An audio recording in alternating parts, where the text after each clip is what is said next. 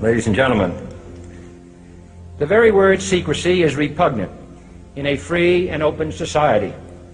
And we are, as a people, inherently and historically opposed to secret societies, to secret oaths, and to secret proceedings.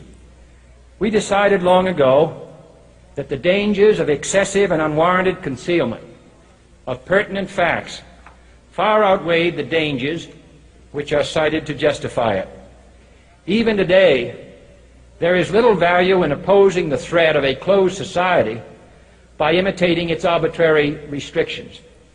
Even today, there is little value in ensuring the survival of our nation if our traditions do not survive with it. And there is very grave danger that an announced need for increased security will be seized upon by those anxious to expand its meaning to the very limits of official censorship and concealment. That I do not intend to permit to the extent that it's in my control. And no official of my administration, whether his rank is high or low, civilian or military, should interpret my words here tonight as an excuse to censor the news, to stifle dissent, to cover up our mistakes, or to withhold from the press and the public the facts they deserve to know.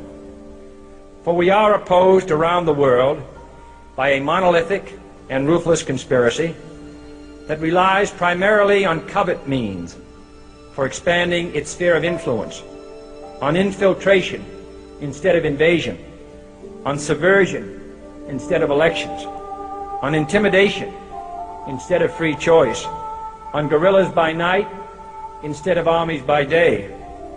It is a system which has conscripted vast human and material resources into the building of a tightly knit, highly efficient machine that combines military, diplomatic, intelligence, economic, scientific, and political operations. Its preparations are concealed, not published.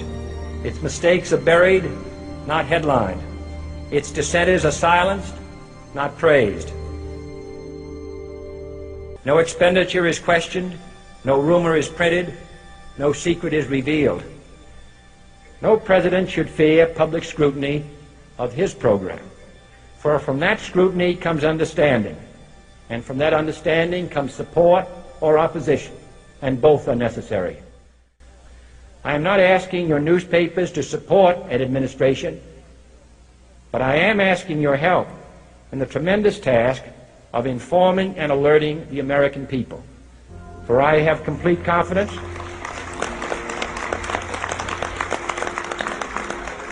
in the response and dedication of our citizens whenever they are fully informed. I not only could not stifle controversy among your readers, I welcome it. This administration intends to be candid about its errors. For as a wise man once said, an error doesn't become a mistake until you refuse to correct it. We intend to accept full responsibility for our errors, and we expect you to point them out when we miss them. Without debate, without criticism, no administration and no country can succeed, and no republic can survive. That is why the Athenian lawmaker Solon decreed it a crime for any citizen to shrink from controversy. And that is why our press was protected by the First Amendment, the only business in America specifically protected by the Constitution, not primarily to amuse and entertain, not to emphasize the trivial and the sentimental, not to simply give the public what it wants, but to inform, to arouse, to reflect, to state our dangers and our opportunities, to indicate our crises and our choices, to lead, mold, educate, and sometimes even anger public opinion. This means greater coverage and analysis of international news, for it is no longer far away and foreign, but close at hand and local. It means greater attention to improved understanding of the news, as well as improved transmission. And it means, finally, that government at all levels must meet its obligation to provide you with the fullest possible information outside the narrowest limits of national security. And so it is to the printing press, to the recorder of man's deeds, the keeper of his conscience, the courier of his news, that we look for strength and assistance, confident that with your help, man will be what he was born to be, free and independent.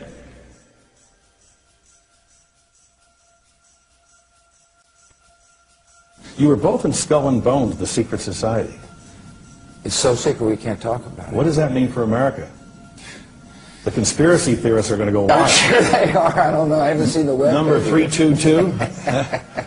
I, You both were members of Skull and Bones, a secret society at Yale. What does that tell us? Uh, not much because it's a secret.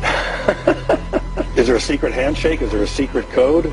I wish there were something secret I could manifest. 322, a secret number? Uh, there are all kinds of secrets, Tim, but one thing is not a secret. I disagree with this president's direction that he's taking the country. We can do a better job, and I intend to do it. And we'll be watching. Be safe on the campaign trail. John Kerry, thanks sir. for joining us. And we'll be right back. It's good to be back at the Council on Foreign Relations. As uh, Pete mentioned, I've been a member for a long time and was actually a director for some period of time. I never mentioned that when I was campaigning for re-election back home in Wyoming. Senator Clinton. How you doing? I'm good. How are you Can I ask you a quick question while you sign that? It was reported in Ju- June of 2006 you attended a meeting in Ottawa, Canada, the Bilderberg Group. Can you comment on that? What do you, what's going on for the Bilderberg meeting, and what do you guys talk about up there?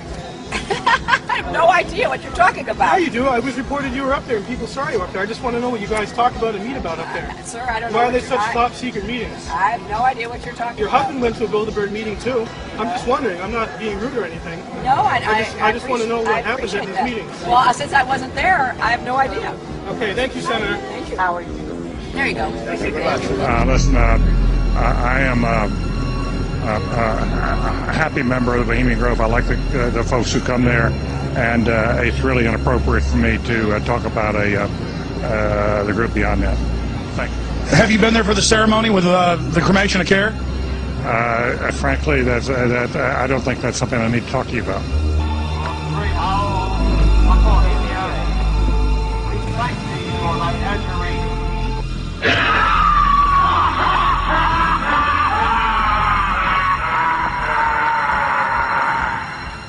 Have you been there for the ceremony with uh, the cremation of care?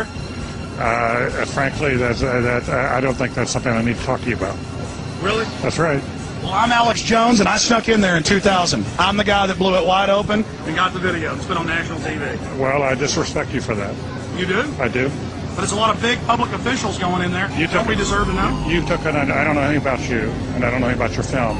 But if you go in there with an understanding, you violated that understanding by releasing that film, and I don't respect you for that. Really? But You, we have public you. I'm sorry, you took an understanding when you went in there that you would not do that film. And you did, did you have an understanding when you went in there? No. Did you crash it?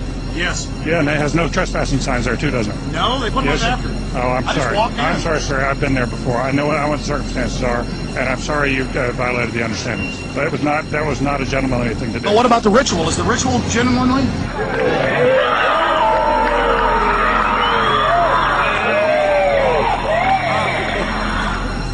Everything. Uh, you, I, I, I don't. I don't owe you this comment. I know, I You, appreciate you, you, you have. You. This is what's called ambush journalism, and I disrespect you for that as well. So thank you, ever and goodbye. in a ritual?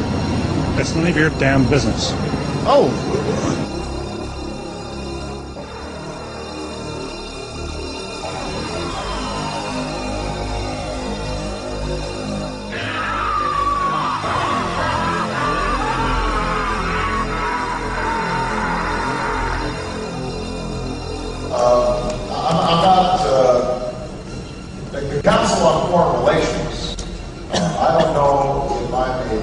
Official member. I've, I've spoken there.